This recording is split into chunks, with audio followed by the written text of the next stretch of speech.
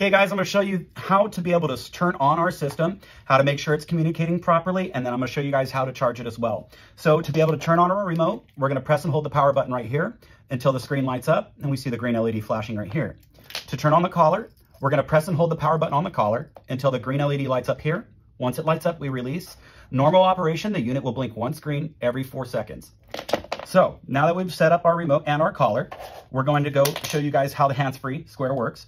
Essentially, it will already come paired to the collar in the continuous state. So just so you guys can see, I'm pressing hands-free square. You see it blinking here, seeing it light up here, and then seeing it light up on the remote, indicating all three parts are communicating. Stay tuned for further tutorials on how to set up and change the function of the hands-free square. Now guys, just to kind of show you how the test light works, or the, the unit operates itself, so we can show function. Put the test light on the collar. We're gonna go ahead and dial it all the way up to the max setting. And then with pressing the continuous button, we should be able to see a nice bright orange light there. Also to verify functionality, go ahead and press the pager button. We should hear the collar vibrate and the light lighting up indicating that it's receiving a signal.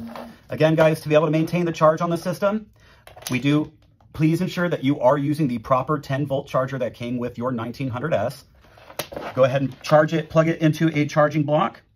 Uh, once we have power, we're gonna go ahead and we're gonna go ahead and take our splitter cable. We're gonna insert it into the back of the remote. And how we know the unit is charging, we should have a red light and nothing on our screen. Again, with the collar, same thing. Go ahead and power down the collar. We're going to open up the charging port, plug our collar in, and a solid red light on the unit is indicating charging.